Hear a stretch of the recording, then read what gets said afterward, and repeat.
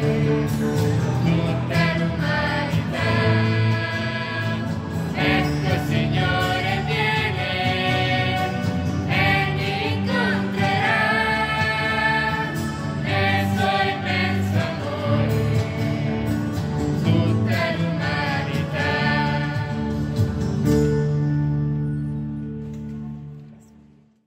Ed eccoci anche questa sera, giovedì della prima settimana di Avvento, ritrovati per la nostra preghiera.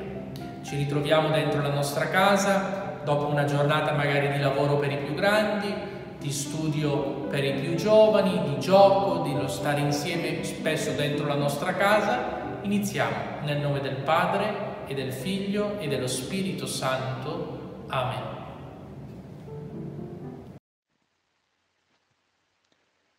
Ti adoro, mio Dio, e ti amo con tutto il cuore. Ti ringrazio di avermi creato, fatto cristiano e conservato in questo giorno. Perdonami il male che oggi ho commesso, e se qualche bene ho compiuto accettalo. Custodiscimi nel riposo e liberami dai pericoli. La tua grazia sia sempre con me e con tutti i miei cari. Amen. Vangelo secondo Marco. Vegliate dunque, voi non sapete quando il padrone di casa ritornerà, se alla sera o a mezzanotte o al canto del gallo o al mattino, e fate in modo che, giungendo all'improvviso, non vi trovi addormentati.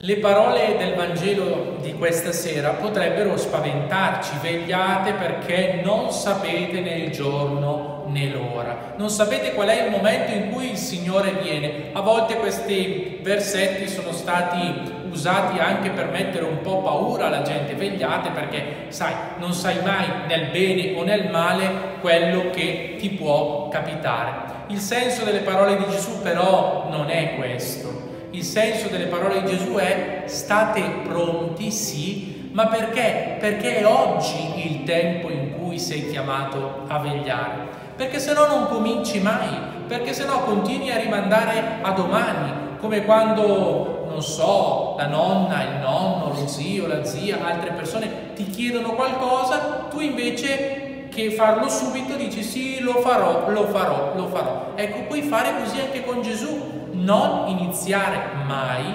a davvero attenderlo.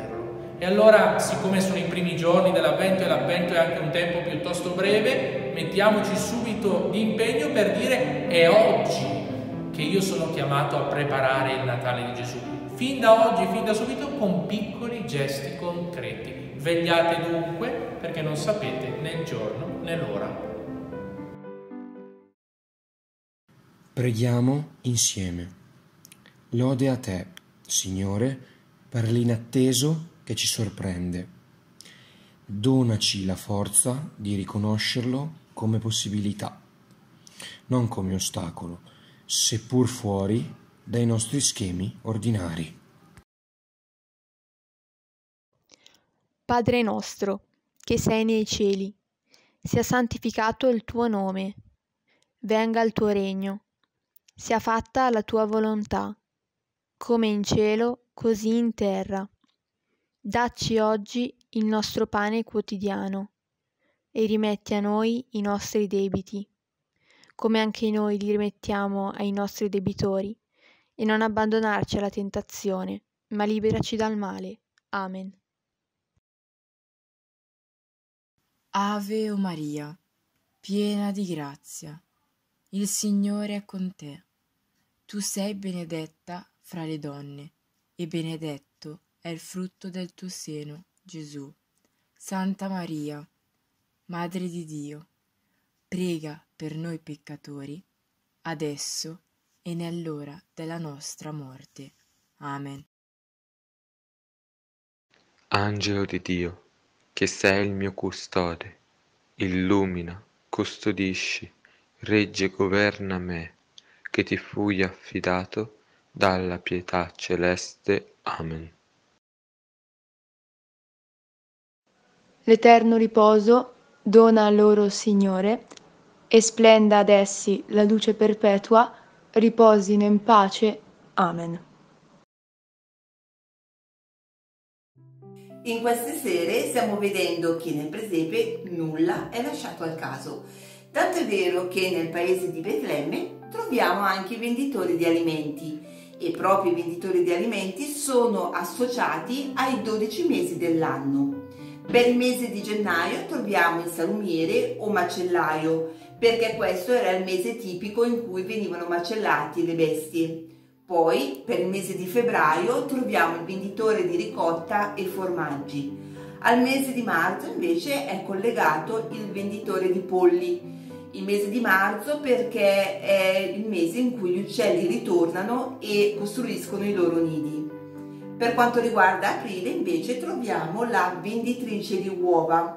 La venditrice di uova, le uova ci riportano, ci ricordano la festa della Pasqua.